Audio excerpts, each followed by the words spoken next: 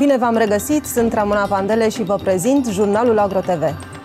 Dacă acum nu plouă, seacă și râul Argeș. Este avertismentul lansat de agricultorii din zonă. Fermierii riverani cu acest curs de apă, afectați și în anii anteriori de secetă, au făcut eforturi ca în 2024 să investească masiv în tehnologii moderne de irigat. Însă chiar și așa necazurile nu i-au ocolit, iar culturile se usucă sub ochii lor pentru că în câteva zile va seca și râul Argeș din care alimentau canalele pentru irigații. Un legumicultor argeșan a ajuns la capătul răbdării, după ce an de an producțiile îi sunt înjumătățite din cauza vremii. Ții foarte aproape de râu. Suntem Ar trebui să râu. fie un sol care trage apă. Trage, dar deja pânza freatică, toate puțurile pe care le avem noi pentru irigat, anul acesta le-am adâncit cu un metru și ceva. Toată pânza freatică a scăzut. Dacă vă duc să vedeți râul cum arată, în față de acum câțiva ani când avea 10 metri lățime, acum este un firicel mic de apă.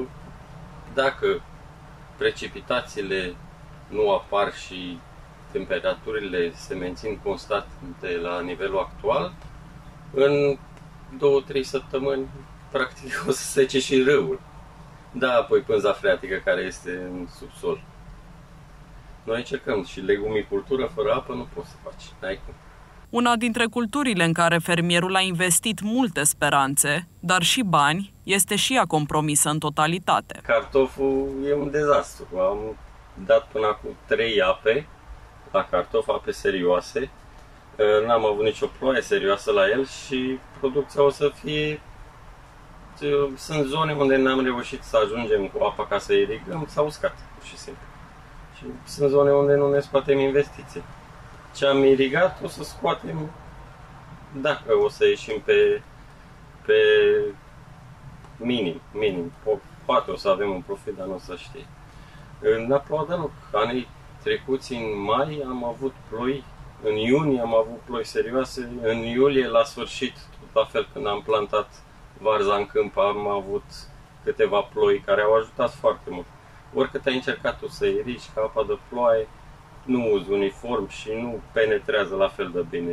Tu uzi pentru 2-3 zile, în plus, în câmp, dacă vedeți cum am început să lăsăm puțin burianul să crească, pentru că în zonele unde sunt burian, unde burianele sunt prezente, umbresc solul și la radiațiile solare și căldura pe care o avem acum, dacă irigăm în două zile este uscat înapoi. Cum Argeșul este în continuare sub incidența unui cod roșu, care vizează valuri de căldură intensă și persistentă și disconfort termic accentuat, pierderile legumicultorilor înregistrate în acest an agricol vor fi uriașe. În Olt, culturile de porumb sunt compromise pe mari suprafețe.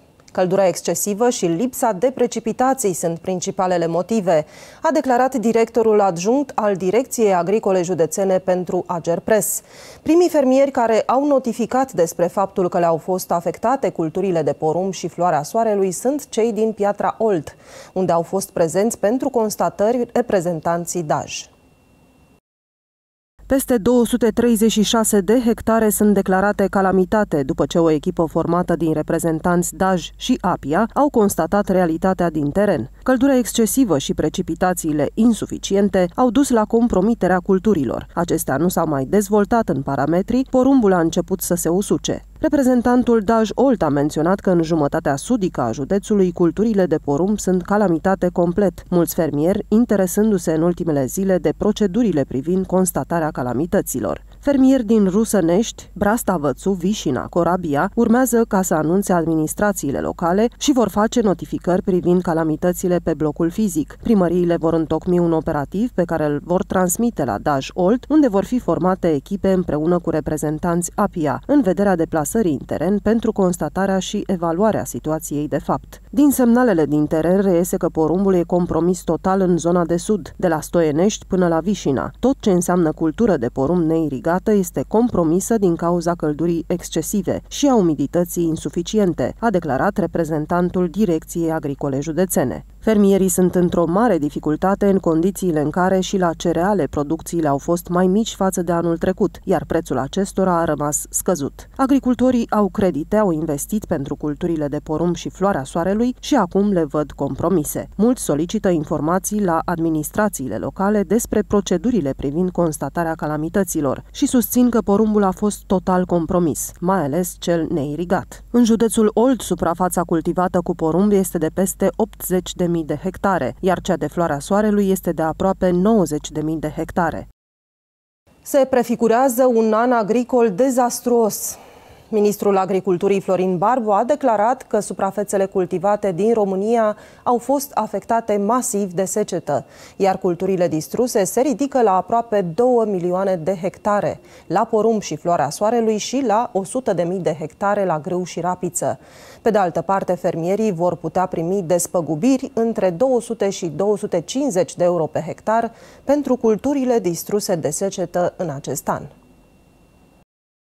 În aceste condiții extreme pentru fermieri au fost constituite comisiile de situații de urgență la nivelul direcțiilor agricole, prefecturilor și administrațiilor locale. Din estimări sunt calamitate aproape 2 milioane de hectare la culturile de primăvară, porumb și floarea soarelui și 100 de mii de hectare la culturile de toamnă, grâu și rapiță. La aceste ultime culturi, procesele de daună au fost finalizate, pentru că se aflau la finalul operațiunilor de recoltare, a precizat ministrul agriculturii. MADR și-a propus ca până pe 15 septembrie să fie încheiate toate evaluările, iar despăgubirile vor fi cuprinse între 200 și 250 de euro pe hectar. În plus, România va solicita Comisiei Europene ajutor financiar în primul rând pentru pomicultură, vii și legume în câmp, dar și pentru cultura mare. Așteptăm să vedem sumele pe care Comisia le va aloca pentru secetă. Dacă nu, vom aloca din bugetul național.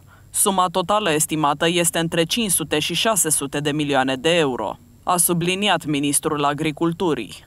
Fermierii vor primi în mod egal despăgubirile. Solicitările către executivul comunitar vor fi trimise în această săptămână, având în vedere că de la 1 august Comisia Europeană va intra în vacanță, în timp ce banii ar putea veni în jurul datei de 15 septembrie. România a obținut anul trecut o producție de grâu de 9,6 milioane de tone, de pe o suprafață de 2,2 milioane hectare, în timp ce producția de porumb boabe a fost de 8,5 milioane de tone de pe 2,4 milioane hectare. Creditul pentru finanțarea investițiilor în terenuri agricole de la Vista Bank. Finanțarea activității oricărei societăți comerciale este întotdeauna un subiect la ordinea zilei. O infuzie de capital la momentul potrivit poate face diferența în succesul producțiilor. Tocmai de aceea Vista Bank, o bancă cu experiență în domeniul industriei agricole, vă prezintă mai multe soluții de finanțare dedicate fermierilor.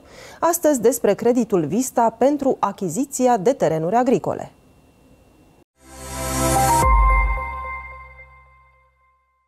Dragi parteneri din agribusiness, sunt Dan Petre și reprezint departamentul Agri din cadrul Vista Bank.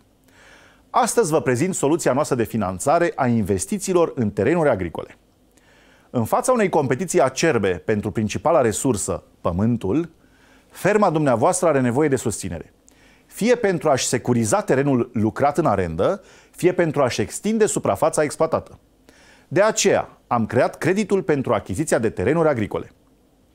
Este un credit care se poate acorda pe termen lung, de până la 15 ani, pentru care beneficiați de o perioadă de grație de până la 12 luni. Mai mult, ratele de rambursare sunt corelate cu perioadele de valorificare a producției. Care sunt principalele avantaje pentru ferma dumneavoastră ale creditului Vista pentru achiziția terenului agricole? În primul rând, suma finanțată poate ajunge până la 100% din valoarea terenului cumpărat. În al doilea rând, perioada de finanțare este una consistentă de până la 15 ani, reducând efortul anual de plată. În al treilea rând, garanția principală este reprezentată de însuși terenul achiziționat. Puteți cumpăra și terenul în curs de cadastrare sau pe bază de promisiune de vânzare-cumpărare, cu condiția unei alte garanții acceptate de către bancă. Uzual alte terenuri cu documentație juridică finalizată. În al patrulea rând, acest credit se poate acorda în lei sau în euro. În al cincilea rând, rambursarea este flexibilă. Puteți alege atât o perioadă de grație de 12 luni în care nu plătiți nici dobândă, nici rate de principal, cât și un grafic de rambursare cu una, două sau trei rate pe an, corelate cu perioada de recoltare și valorificare a producției. De ce să alegeți Vista Bank? La Vista Bank suntem pasionați în egală măsură de domeniul financiar și de cel agricol. Avem o experiență de peste șase ani în finanțarea agriculturii și o echipă dedicată de specialiști agri prezenți în principalele zone cerealiere ale țării. În acest timp am proiectat un portofoliu extins de produse și l-am îmbunătățit continuu. Vă oferim consiliere personalizată, astfel încât să alegeți soluția de finanțare adecvată fermei dumneavoastră. Suntem aici pentru fermele care exploatează cel puțin 250 de hectare, cu minimum 2 ani de experiență și organizate ca persoane juridice. Împreună suntem mai puternici. Temperaturile extrem de ridicate din ultima perioadă provoacă adevărate dezastre în țară. În mai multe zone din județul Buzău, localnicii s-au trezit în aceste zile cu fântânile goale. Disperați, oamenii au cerut ajutorul pompierilor, care le transportă apă cu cisterna. Până acum au fost duse șase transporturi de apă cu un total de 50.000 de litri de apă. În localitățile Viforâta și Băceni din comuna Berca, cisterna încărcată cu apă abia reușește să treacă pe ulițele înguste. Oamenii de aici au cerut ajutor pentru că nu mai au de unde să se alimenteze cu apă, atât pentru nevoile gospodărești, cât și pentru animale. Nu sunt decât 6-7 fântâni care să fie e, cu apă în ele, care ține apă. Acum mai există apă în fântânile astea? Acum nu. De asta și cerut apă, că nu, nu are de unde să vină. Deci au secat cam toate. Au secat, ele au fost multe, în jur de 50 de fântâni au fost, dar s-au părăsit, s-au astopat, sau nu s-au mai curățit. Acum cum vă descurcați cu apă? Fiecare cum poate și ne mai ajută primăria. După posibilități. Dacă avem o mașină, ne ducem cu cubul, tragem cu pompa de unde găsim apă pe, nu potabilă, apă pentru vite, pentru că vite sunt mai multe în sat decât locuitori. Cu apa potabilă cum faci? Avem o singură apă, o singură fântână făcută de primărie acum o 10 ani cu, cu fonduri din acelea și o păstrăm numai pentru să facem mâncare, să bem, să o folosim din consum. Câte, fân- câte fântâni au alimentat cei de la pompieri astăzi? Uh, trei. Trei și mai sunt două care ar fi să mai să pună, să completeze ca să, să ajungă pentru cel puțin două săptămâni apa pentru la vite. Pompierii au alimentat câteva fântâni din sat, care au secat din lipsa precipitațiilor. Astăzi am uh, alimentat două fântâni cu apă, în jur de 8 metri cubi. Urmează să mai facem un transport. Mergem acum la încărcat, după care revenim cu, cu apă. Cam câte persoane locuiesc aici? În jur de 40-50 de persoane. Cum se descurcă fără acest ajutor? Păi e foarte greu, vă dați seama. Noi având apă, fără apă nu se face nimic. Deci murim cu toții dacă nu avem apă. Cu apa potabilă cum se face? Cu apa potabilă e greu, fiecare își cumpără. Mâine o să vină primăria cu un ajutor cu apă, o să aducem apă aici. Apă potabilă, astăzi aducem pentru animale, mâine pentru, pentru persoane. După ce au umplut puțurile, cisterna a ajuns și la localnicii care au cerut ajutor. Pompierii au fost așteptați de aceștia cu butoaiele pregătite la poartă. Cum vă descurcați cu apa aici? Greu, dar ce să facem? De ce? Pentru că nu este în fântâni, a secat fântânile. Și oamenii toți bătrâni aici, toți de la 70 de ani în sus, De unde vă luați apă? Cum reușiți să vă luați? mergem tocmai aproape de fermă. Este o fântână care mai are apă. Și acolo ne alimentăm de acolo, ce să facem. Dacă va seca și aceea? Dacă va seca așa, aceea, speranța la Consiliu. Ne aduce cu cisterna. Ce să facem? Asta e treaba. De când n-a mai plouat aici, în zona asta? A plouat acum o săptămână, dar puțin, ce, n 10 minute a plouat. Toată iarna n-a fost zăpadă, ploi n-a fost deloc. Acum tot la fel, temperaturi mari. Ce să facem? Asta. Cu, cu animalele cum vă descurcați? Ne descurcăm ușor că nu mai sunt decât două vaci în tot- în tot satul. Până, până acum vreo șapte, opt ani de zile avea fiecare, acum nu mare. populația e bătrână, Au renunțat oamenii. au renunțat, da. V-ați pregătit butoaiele. Da, mi le-am pregătit. V-au anunțat că vine astăzi? Da, da, da. Cam câte butoaie ați pregătit? Am un bidon, o 2000, 2000. de 1000 de kg unul și două tocitorele de 500. Cam cât va ajunge? Cam, trei, cam o lună, să zic așa. Și dacă mai am încă vă patru de 200, mi-ar ajunge o lună jumate. Mai așa, mai cu economie așa, mai așa, cam o lună jumate. Dar Ce s-a întâmplat? Au secat fântânile aici? Eu am fântână la mine în grădină, dar nu mai are pic de apă. Nu mai are- S-a uscat. S-a uscat. Dacă n-a mai plouat, n-a nins, toată iarna n-a nins, toată primăvara n-a plouat, n-a ăla. Ce ploile astea care a dat acum s-a părlit tot pe grădini.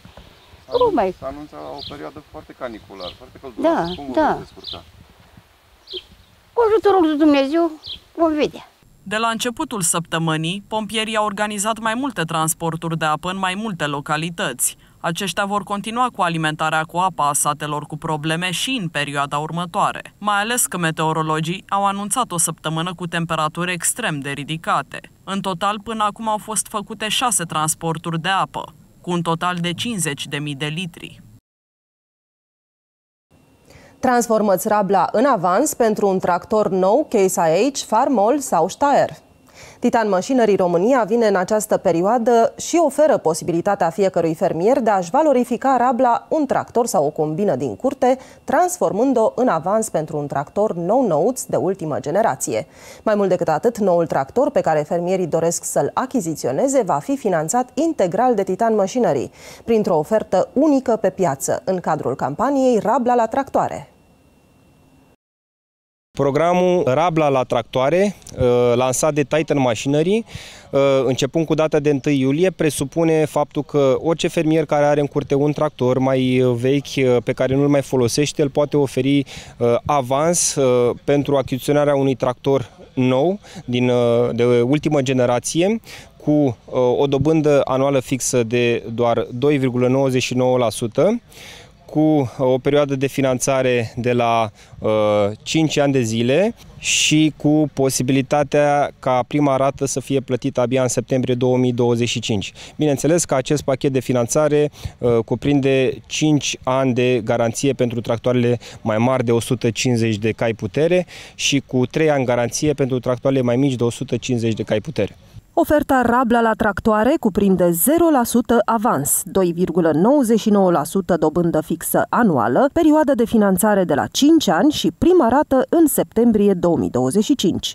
În cadrul campaniei lansată exclusiv de Titan Machinery România, fermierii pot opta pentru tractoare noi de ultimă generație de la Case IH, tractoarele Steyr cu transmisie continuă variabilă sau pot alege din gama tractoarelor Case IH Farmall 110M cu transmisie Power Shift. Puteți afla mai multe informații de la reprezentanții Titan Machinery, accesând pagina de contact a companiei www.titanmachinery.ro sau direct de la punctul de lucru din țară cel mai apropiat, pentru a găsi reprezentantul de vânzări.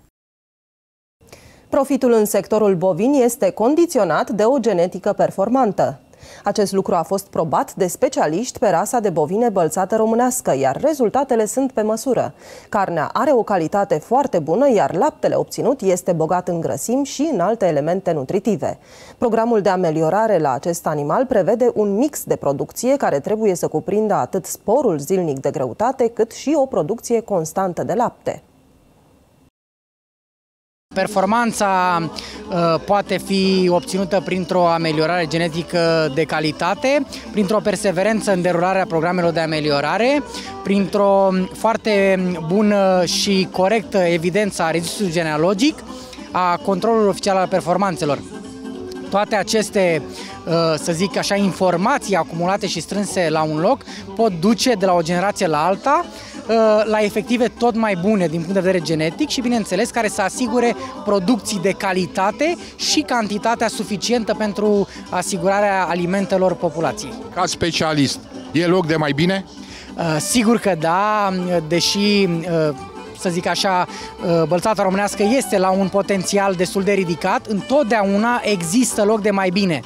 Um, avantajul ameliorării este că efectul acesteia este cumulativ de la o generație la alta și întotdeauna, chiar dacă pașii sunt din ce în ce mai mici, ei există și trebuie îmbunătățit. Uh, ba mai mult, în momentul în care ai ajuns ierarhic la un nivel uh, să zic așa, foarte bun, foarte specializat, trebuie să lupți să te menții acolo, să menții acea calitate a materialului genetic pe care să o perpetuezi dintr-o generație într-alta. Această rastă fiind, având dublă atitudine, uh, trece printr-o perioadă de selecție a performanțelor proprii și animalele care se evidențiază prin uh, sporul mediu zilnic uh, ridicat merg în direcția, în linia de carne, iar animalele care se evidențiază prin producție de lapte atunci pot să, să meargă înspre linia de lapte. Dar masculii, în general, se, cu o furajare adecvată, se exprimă foarte bine în direcția carne și atunci, chiar dacă avem o fermă specializată în, spre lapte,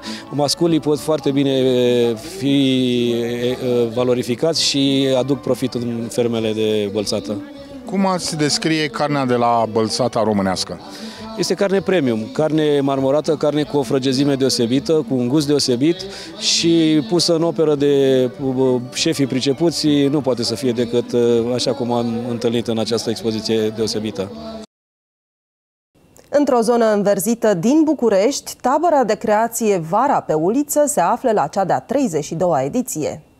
Muzeul Național al Satului Dimitrie Gusti își așteaptă vizitatorii până pe data de 2 august. Scopul programului este acela de a insufla copiilor dragostea pentru tradiții și cultură, iar cei mici vor lucra cu meșteri populari din întreaga țară. Câteva dintre activitățile care vor avea loc sunt olăritul, țesutul, încondeiatul ouălor și confecționatul păpușilor. Atelierele sunt dedicate copiilor între 4 ani și 18 ani. Numărul maxim de copii la un singur atelier este de 15, iar înscrierile se fac online. Suntem la a 32-a ediție a taberei de creație Vara pe uliță. E un brand pentru Muzeul Satului și de la an la an lucrurile s-au îmbunătățit, atelierele s-au înmulțit, coordonatorii sunt uh, din toată țara. Uh, în ciuda faptului că este foarte cald afară, adică este perioada cea mai, uh, cea mai fierbinte din an, uh, copiii vin, nu renunță la ateliere, nici și părinții, nici bunicii, nici copiii și participă la toate atelierele. Avem 10 ateliere diferite cu coordonatorii, repet, veniți din, din toată țara și uh, cele mai apreciate sunt cele de manualitate, adică modelajul olăritul unde suntem acum, uh, crearea de măști, de păpuși, cum își pot convinge părinții copiii să participe la astfel de activități? După cum știm, trăim în era digitală, unde uneori este mai la îndemână pentru aceștia să ia o tabletă sau un telefon decât să se bucure de activitățile de altă dată. Depinde de educație, adică depinde de fiecare familie în parte, însă ceea ce am observat este că uh, de la an la an uh, sunt copii care participă în fiecare an. Deci uh, dacă la început, să zicem, au fost mai reticenți să vină și să lasă deoparte tableta sau calculatorul, să iasă din uh, casă, uh, apoi cer ei să vină la tabără. Și avem chiar copii care au crescut în aceste tabere și au devenit la rândul lor coordonatori. Avem un coordonator, acum chiar în modulul acesta, avem un coordonator care a participat aproape la toate taberele. Am fost adusă de bunica mea de la prima ediție, pur accidental am ajuns și mi-a plăcut foarte mult. Eu neavând bunici la țară, în fiecare vară veneam aici și învățam de toate. În 2001 am fost rugată să fiu uh, profesoară uh, la podoabe populare și de atunci în fiecare an am venit ca profesoară. Urmează câteva minute de publicitate, după care continuăm jurnalul AgroTV.